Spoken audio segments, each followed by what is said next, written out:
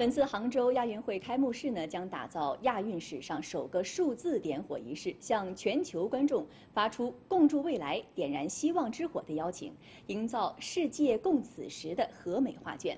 作为普通观众，怎样才能参与到数字点火仪式中来？为了实现数字点火，技术团队背后又做出了哪些努力呢？一起来看一下。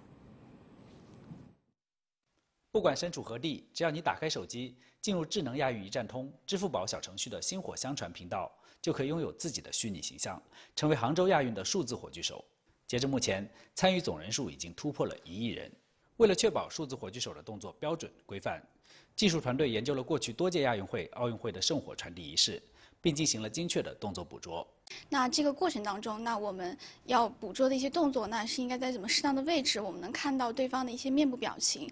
那这些其实可能是一些，呃，虽然动作比较简单，但是会有很多一些细节的考量。呃，包括你要跟别人去传递这个火炬，那你的左手应该是跟别人打招呼的一个形式。然后包括你传过去的时候，整个的高度一个位置的模拟。二十三号晚，当开幕式进入主火炬点燃环节，超过一亿的数字火炬手将汇聚到钱塘江上。形成一个具象的数字火炬手，从钱塘江踏着浪花，一步步来到大莲花上空，和线下的六棒火炬手共同点燃主火炬。我现在能给大家剧透的，我觉得就是大家最好能提前成为数字火炬手啊！我们并且能在你成为数字火炬手的时候，就会将一些资源提前缓存好啊，这样子的话，以便于那个当天会有一个非常好的一个一个加载体验。对于大家而言，大家只需要到到时候会操作一下，把自己就是汇聚到那个汇聚到那个超级粒子人身上就可以了。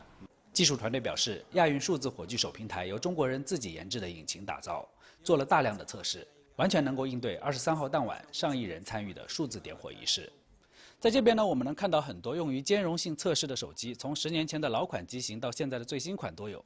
这也是因为亚运会开幕式的数字点火互动参与人数超过了一亿人。